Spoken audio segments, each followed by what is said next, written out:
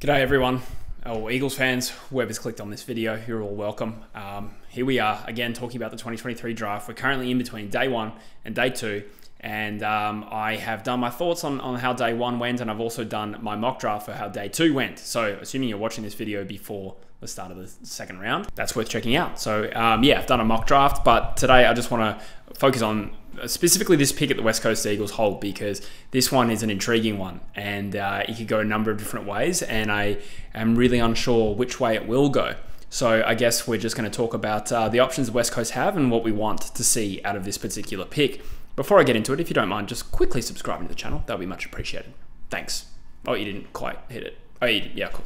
Sweet, thanks. Okay, so to, reflect on day one quickly, obviously getting Harley Reid is a massive win for the club and a huge inclusion and a best 22 player from day dot, you think. He's good enough and developed enough to improve our list or a best 22 immediately. I don't want to focus too much on Harley Reid in this video because I am a time crunch. I got to get this video out, uh, but also that just involves or it requires a video in its own right. So we'll talk about um, our draft haul and reflect on it a little bit more after the fact.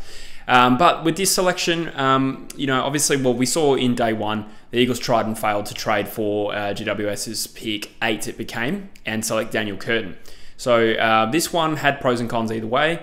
And uh, I must admit, like going into the day, I got a little bit excited at the prospect of adding Reid and Curtin in the same top 10, um, top 10 picks. We haven't had too many top 10 picks, I think, between Ginbey and Gaff. So what's that? Nine years. No, sorry, it's 13 years. If I got that right, I have. I have. Yeah, that was our last top 10 pick, Andrew Gaff before Reuben Ginbey. So to add two in the subsequent draft would have been very juicy. It would, however, come at the cost of a future first round pick. And uh, I've laid out the pros and cons of that because that could be pick one next year. So we'll hold on to that for now. But what missing out on Daniel Curtin has done has created a little bit of. Um, maybe it hasn't created pressure, but if had we got Daniel Curtin, it would have taken off pressure for us to necessarily select a tall with our next selection. And that's the situation I think we're now in because looking at day two and the, and the amount of talent left, particularly key defenders, there's, uh, there's three that come to mind straight off the bat uh, who are all available. Ollie Murphy, I'm surprised that he's still available. Apparently, he didn't test well at the combine. That is reportedly, or it's been suggested um, in you know informal circles that, that that's why he's slid. So I'm not too sure what's going to happen there because I would have been happy to take Ollie Murphy. I've been talking him up this entire draft period. 200 centimeter key defender. That's uh, that's a nice attribute to have because it offsets him a little bit from Bazzo. Um, Harry Edwards is also 200 centimeters. Harry Edwards has had so much injury in the last couple of years, and he hasn't really developed to the point where I'm happy to say no, we've got our backline sorted. So Ollie Murphy presents as a really good option there. Zack Kostecki is another athletic key defender I really like. Um, whether or not he can last to our next pick, pick 40, that's another question. I don't really know. I would have probably bet against it. Um, but also, there's the fact that, again, are we in a position to run the risk? Because I don't think we want to walk out of this draft with four or five selections and them all being non key position players. And I think this particular pick is right in the mix for where a lot of good tools are about to go, in my opinion. So I've men- mentioned two Zack Kostecki and Murphy. The other one's Ari Schoenmaker he was considered a potential first round talent, um, linked to North Melbourne specifically, and uh, I think the Crows as well. Other clubs looking for key defenders in this year's draft, and he's gotten through them all. And Schoenmaker to me is probably my least preferred out of those three, but he may easily be the one we pick. I have seen him linked to us in media circles. So Think about Schoenmaker, a little bit smaller. He's 194 centimeters and a bit more of a playmaking defender. And he sets up play with his really good kick really long kick as well. So then he does have a point of difference, and I would I would get over it very quickly if that's who we picked. But I do kind of think it's got to be one of those three. And I, I'm just trying to scanning the draft board here. I mean, suppose we could go for a key forward option. There's guys like Luke Lloyd.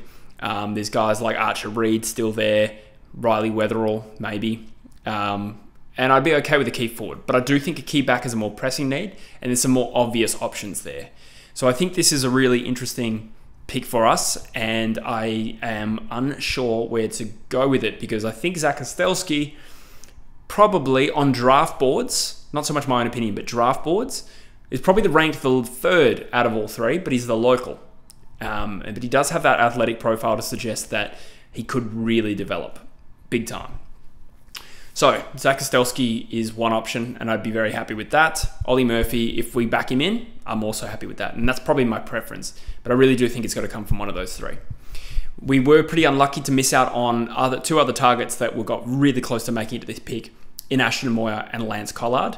They went the two picks before us, which burns a little bit. You know, you win the wooden spoon, and uh, your pick comes in, your second pick comes in at pick 30. We did just walk away from the draft with the best, you know, generational talent thus far this draft system has seen.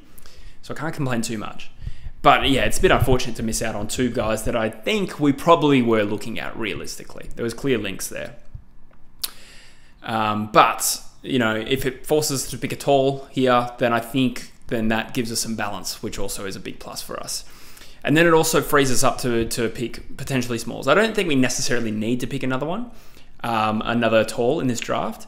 Mitch Edwards actually is another contender for this selection that I wouldn't lose any sleep if we did pick him up here, because I do think people are sleeping on him with regard to his talent.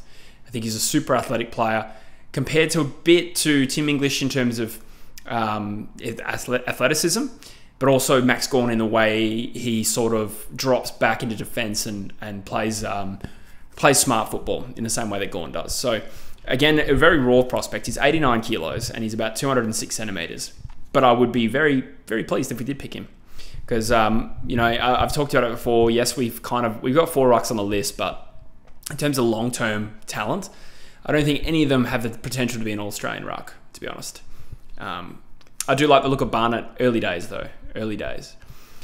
So, if it's Edwards, I don't lose any sleep over it. I think we do still need to add a key back. If we can somehow snag Edwards at this pick and then Zack Kostelski at the third pick, that's a dream result. Um, or flip it the other way.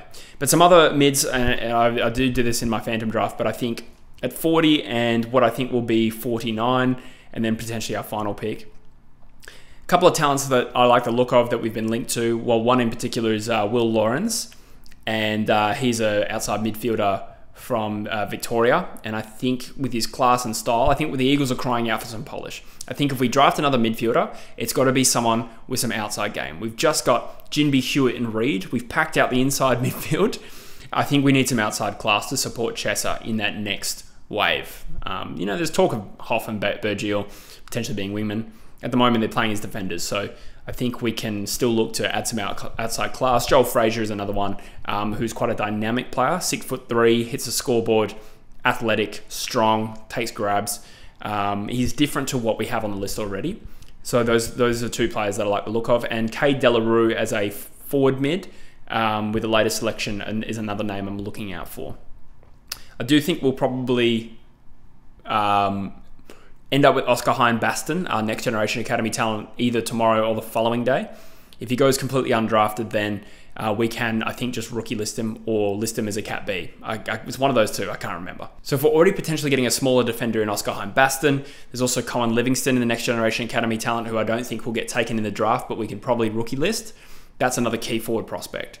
So if we're getting a key forward and a small defender, then I think we probably look midfield and forward um, smaller types outside of a key defender. One other player we've been linked to is Archie Roberts. You know, I won't lose sleep if we do pick him at uh, our first selection on day two because stylistically, I think he suits what we're looking for. He's got the skills, he's got the pace, and can probably play early. But I do double down on my belief that I think we need to go tall with this particular pick, and we'll probably miss out on Archie Roberts. But they may be thinking a very, very different situation. And I'm hoping maybe, you know, we go with our gut, we take whoever we think is best at the first pick, even if it's not at all. And hopefully, we just pluck a random key position player out of the WAFL Colts competition that has played five games and then he ends up being a star. That's that's our ideal result. But I think we do have a knack of picking talls late. I think we've shown that in the past. Jack Williams is performing way above expect- expectation. He was like pick 57. Um, even Harry Edwards out of the rookie draft, you know, injuries aside, I think in terms of talent identification, we did a really good job there. So, yeah, I'm hoping for some sort of late gem um, it was interesting looking back on the Eagles. Uh, they released a video clip of them working in the draft room in the 2022 draft, and they were talking about Noah Long, and they were the footage shows them planning to get the pick to take uh, Noah Long, which I don't think we traded for it, so it's a bit confusing, but um, doesn't matter. They were definitely talking about taking Noah Long, And somebody said, Where do we have him? And they said in the early 20s. And this really shows how subjective the draft system is because uh, Noah Long being rated in the top 20s is obviously very different to what everyone else thought. So it's just an interesting insight as to how, again, subjective and diverse the rankings are of uh, various players. So we might see some results tomorrow we're not expecting. But I'm hoping that I can just relax a little bit about getting a key defender once we have one on the list. But as always, guys, I welcome your comments in the comment section below. I'll do my best to reply to them, but I, uh, I'm a busy man at the moment, busy time of the year. But it's exciting. I love this time of year, and uh, it's great to share it all with you. So thanks for watching, guys. Subscribe to the channel if you haven't already, and I'll see you in the next one. Cheers.